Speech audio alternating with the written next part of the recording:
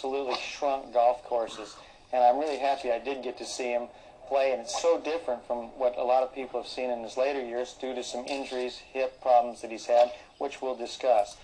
So, everyone, Craig Hanson here. We're checking out Jack Nicklaus and Arnold Palmer. Absolutely staggering some of the stories that you hear about with these guys, especially Nicklaus, how far that he was hitting the golf ball. Um, absolutely extraordinary breaking club heads and, and, and driving the golf ball with the equipment back then that they had. Uh, yeah, what has he got? 18 major championships, 117 t- tournament victories throughout the world. Uh, Arnold Palmer, seven time major champion. And uh, we're going to have a quick look here. Later on the video, guys, I'm going to show you an easier way to really swing the golf club. We're going to go through another couple of players there. We're going to have a look at Nicklaus and Palmer from the back view with iron shots. Got some incredible uh, coverage there.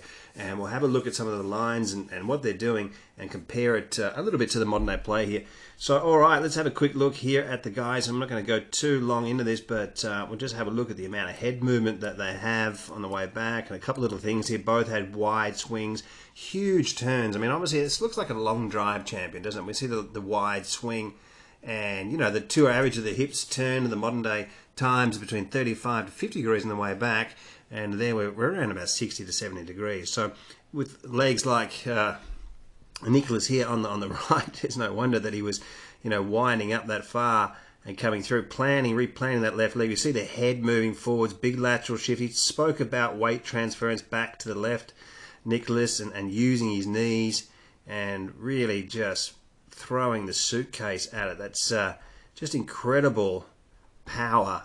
And no wonder that uh, we're winning so many tournaments. I love this move when you see this move from Palmer moving back, that step back and and recentering the head and then just so flexible, wasn't he? Just unbelievable, turning his body. The king, seven times major champion, 60 uh, something tournaments, 162 I think it was, and one of the best players of all time. World Class Golf Instruction has over 700 detailed videos for every golfer. Practice programs and evidence based material is applied to helping you to become your own coach and play your best golf. Join us in the chat room and join the community of World Class Golf Instruction. Guys, let's get in there and have a look at these uh, great camera shots. You're going to enjoy this, and uh, we're going to see some incredible moves. And in a way, when they're coming down, not dissimilar these swings here. But we'll have a look. We'll get a line up here. We'll draw some of the normal lines that I do. Pop it up through the shaft. Nicklaus on the left, Palmer on the right, obviously.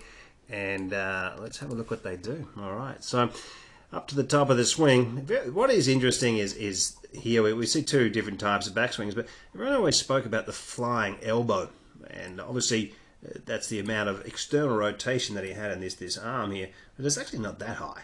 You know, compared to the spine angle, it's not that far away.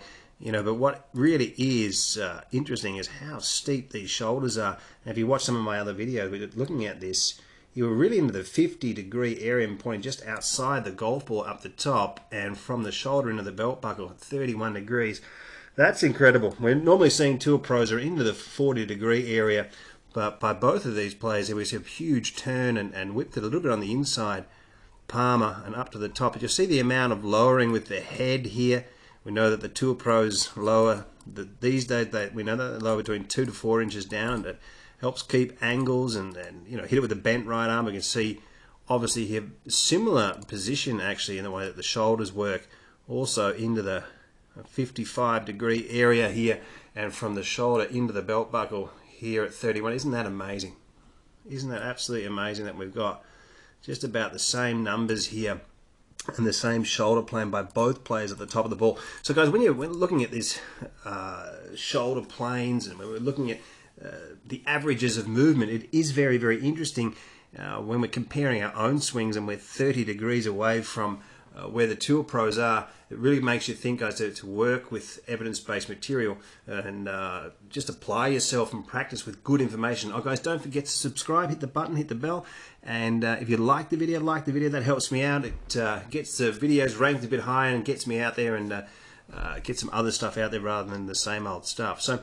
All right, let's have a look at the way down. We see that Nicklaus where he's pointing the club. You'll see this plane flatten slowly. It takes a while, but he's going to get it in there. The greatest player of all time. You see this club moving around, moving around, and uh, he does get it on a, a beautiful plane coming down. Already there we can see that the club is lined up and is parallel to the original shaft plane, shallowing further, and uh, it's it's obviously coming down into the same position what I've done with all my videos. We can see that uh, the club's shaving down the down plane. We can see that the lead wrist here is slightly bowed, and when we have a look at uh, Palmer here on the right, we're going to be seeing the same shallowing out. And when we go back, we'll just scroll back a little bit here. We're actually seeing very, very similar uh, positions of the, of the club here. Watch this when they come down. Very, very interesting that the players, the leg work, the knee work, the hips, uh, getting into impact very close to the original shaft plane and uh, almost, you could say, almost identical there.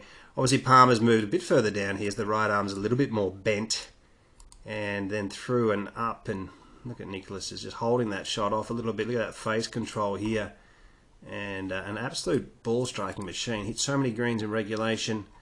Arnold Palmer, the king.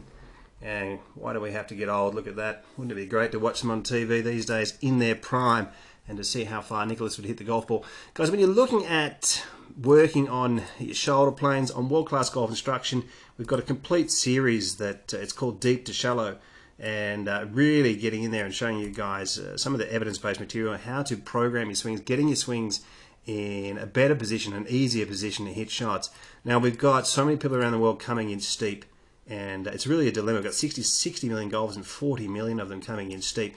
Now guys, you've got to get your club faces working correctly. You've got to get your wrist alignments. For most of you out there, you'd like to probably get a three knuckle grip and a flat left wrist and that's going to get your club face a little bit more shut than the lead arm position and that's going to really help you guys shallow out looking at your shoulder planes getting it lined up a little bit takes just a little bit of work it's not that hard and then you get this club coming down in a much much better position whereas if you see it's coming in behind the hands here and if we get a clock over that we're going to see that the sole of the club once again in a similar position and we can look at our wrist alignments and hit that back of the ball with a good path and a good face and get ourselves in a much better place. What we're seeing by so many players, you can get yourselves up to the top of the swing here, we're seeing by so many players really just in a position at the top of the swing where it's just so difficult for them to hit the ball.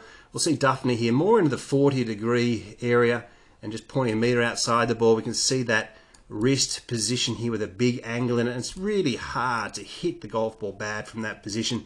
So guys, check out World Class Golf Instruction and uh, you can get into the series, the deep to shallow series and get these club faces and wrist alignments matched up rather than getting ourselves in positions where we're seeing so many of the general public with shoulder turns really into the high 20 degrees, no wrist uh, angles. We can see the back of these wrist angles here with nothing in them. And from here, guys, you have to tip it all over. The club's going to come down open and it's going to come down steep. And this is what we're seeing. People really swinging in an identical fashion around the world. So guys, thanks for watching. Hope you enjoyed the video. Check out World Class Golf Instruction and we'll see you next time.